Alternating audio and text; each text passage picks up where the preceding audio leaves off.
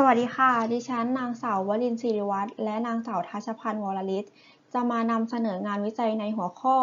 ศึกษาความเป็นไปได้ในการแยกเนื้อลำไยออกจากลำไยอบแห้งทั้งเปลือก โดยใช้เครื่องมือระบบลูกกิ้งค่ะลำไยเป็นพืชเศรษฐกิจปลูกมากบริเวณภาคเหนือของประเทศไทย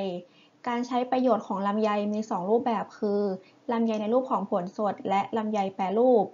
ลำไยแปรรูปส่วนใหญ่จะถูกนำมาทำเป็นลำไยอบแห้งทั้งเปลือก โดยลำไยอบแห้งทั้งเปลือกจะแบ่งเป็น 4 เกรดตามขนาดเส้นผ่าศูนย์กลางคือ AA A B และ C ลำไยอบแห้งทั้งเปลือกเกรด C เป็นลำไยที่มีขนาดผลเล็ก ราคาต่ำมาก ไม่เป็นที่ต้องการของตลาด จะถูกนำไปแยกเนื้อออกจากเมล็ด เพื่อนำส่วนของเนื้อไปจำหน่ายทำเป็นน้ำลำไยพร้อมดื่ม ในขั้นตอนการแยกเนื้อออกจากเมล็ดจะใช้แรงงานคนทำให้มีความเสี่ยงในเรื่องของสุขลักษณะอนามัยที่ไม่ดี มีต้นทุนแรงงานสูง และใช้เวลาในการแยกนานค่ะ งานวิจัยนี้จึงมีแนวคิดในการใช้เครื่องมือระบบลูกกิ้งในการแยกเนื้อออกจากลำไยอบแห้งทั้งเปลือก โดยเครื่องมือที่ใช้คือเครื่องรีดบะหมี่ ใช้มือหมุน และเครื่องบดปลาหมึกแบบเฟืองขบใช้มือหมุน เพื่อนำองค์ความรู้พื้นฐานไปใช้ในการพัฒนาเครื่องมือต่อไป วัตถุประสงค์ของงานวิจัยนี้คือเพื่อศึกษาความเป็นไปได้ในการใช้เครื่องรีดบะหมี่ใช้มือหมุน และเครื่องบดปลาหมึกแบบเฟืองขบใช้มือหมุน ในการแยกเนื้อออกจากลำไยอบแห้งทั้งเปลือกค่ะ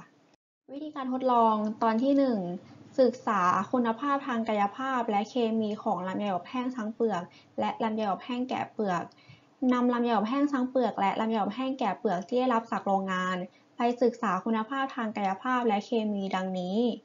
เส้นผ่าศูนย์กลาง สัดส่วนน้ำหนัก น้ำหนักต่อเมล็ด สัดส่วนของเนื้อต่อเปลือกต่อเมล็ด moisture content และค่า water activity ค่ะ ตอนที่ 2 เปรียบเทียบวิธีการแยกเนื้อลำไยอบแห้งแกะเปลือกนำลำไยอบแห้งแกะเปลือกไปแยกเนื้อออกจากเมล็ด โดยใช้เครื่องรีดบะหมี่ใช้มือหมุน และเครื่องบดปลาหมึกแบบเฟืองขบใช้มือหมุนทำการแยกเนื้อออกจากเมล็ด โดยใช้เครื่องรีดบะหมี่แบบเดิมที่ผิวลูกกิ้งมีลักษณะเรียบ สังเกตความสามารถในการแยก ลักษณะของเนื้อและเมล็ดลำไยที่แยกได้ จากนั้นเพิ่มความหยาบของผิวลูกกิ้งหนึ่งด้านและสองด้าน โดยการติดกระดาษทรายที่มีความหยาบต่างกัน และปรับระยะห่างระหว่างลูกกิ้ง ทดสอบความสามารถในการแยกเนื้อ จากนั้นนำลำไยไปปรับเพิ่มหรือลดความชื้นจากเดิมประมาณร้อยละสองทดสอบความสามารถในการแยกเนื้อ และใช้เครื่องบดปลาหมึกแบบเฟืองขบใช้มือหมุน ในการแยกเนื้อออกจากเมล็ด ถ้าสามารถแยกเนื้อออกจากเมล็ดได้ ให้นำลำไยไปปรับความชื้น เช่นเดียวกับเครื่องรีดบะหมี่ใช้มือหมุนค่ะ ผลการทดลอง ตอนที่ 1 คุณภาพทางกายภาพและเคมีของลำไยอบแห้งทั้งเปลือก และลำไยอบแห้งแกะเปลือกจากการตรวจสอบคุณภาพทางกายภาพและเคมีของลำไยอบแห้งทั้งเปลือกเกรด C ที่ได้รับจากโรงงาน พบว่าลักษณะคุณภาพของลำไยอบแห้งทั้งเปลือก ได้แก่เส้นผ่าศูนย์กลาง สัดส่วนน้ำหนัก น้ำหนักต่อเมล็ด สัดส่วนของเปลือกต่อเนื้อต่อมเมล็ด moisture content และ water activity มีทั้งขนาดเล็กและขนาดใหญ่มีค่าใกล้เคียงกันค่ะ โดยเฉพาะเส้นผ่าศูนย์กลาง ซึ่งมีขนาดใกล้เคียงกันอยู่ในช่วง 18-20 เซนติเมตรดังตารางที่ 1 ค่ะ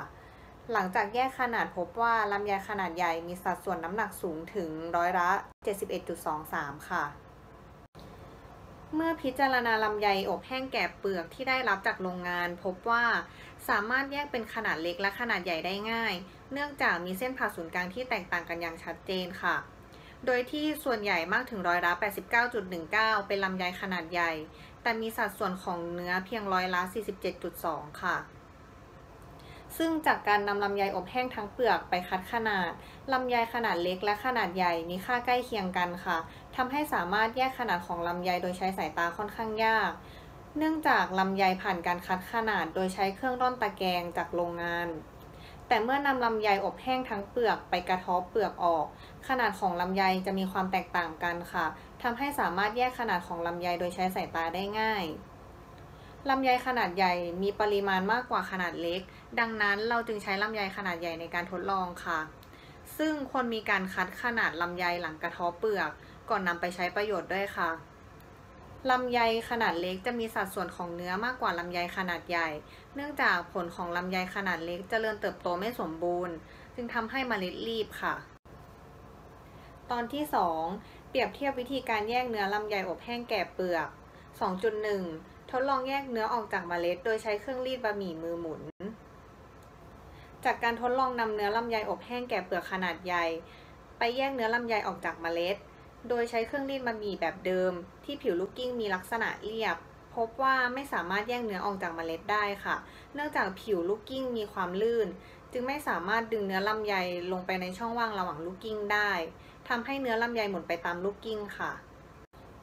ค่ะ เมื่อเพิ่มความหยาบของผิวลูกกลิ้งหนึ่งด้าน ด้วยการติดกระดาษทรายที่มีความหยาบแตกต่างกัน ในตารางที่ 3 นี้จะกล่าวถึงผลของระยะห่างระหว่างลูกกลิ้ง และความหยาบของผิวลูกกลิ้งหนึ่งด้าน ของเครื่องรีดบะหมี่ใช้มือหมุนค่ะ ซึ่งพบว่าผิวของลูกกลิ้งหยาบที่ติดด้วยกระดาษทรายเบอร์ P80 ที่มีความหยาบปานกลาง ซึ่งมีระยะห่างระหว่างลูกกลิ้ง 2.2 เซนติเมตรนะคะ สามารถแยกเนื้อออกจากเมล็ดได้ค่ะ เนื่องจากกระดาษทรายมีความหยาบแล้วก็คมพอดี จึงสามารถแยกเนื้อออกจากเมล็ดได้ง่ายค่ะ ส่วนเครื่องรีดบะหมี่ที่ติดกระดาษทรายเบอร์ 4 ที่มีความหยาบน้อยที่สุด และกระดาษทรายเบอร์ 5 ที่มีความหยาบน้อย ไม่สามารถแยกเนื้อได้ค่ะ ส่วนกระดาษทรายเบอร์ P40 ที่มีความหยาบมากที่สุด ไม่สามารถทำการทดลองได้ค่ะเนื่องจากกระดาษทรายเนี่ยมีความแข็ง เมื่อติดกระดาษทรายบนผิวลูกกิ้ง กระดาษทรายจะเกิดการหักงอค่ะ ไม่แนบติดกับผิวลูกกิ้ง ซึ่งทำให้ผลการทดลองคาดเคลื่อน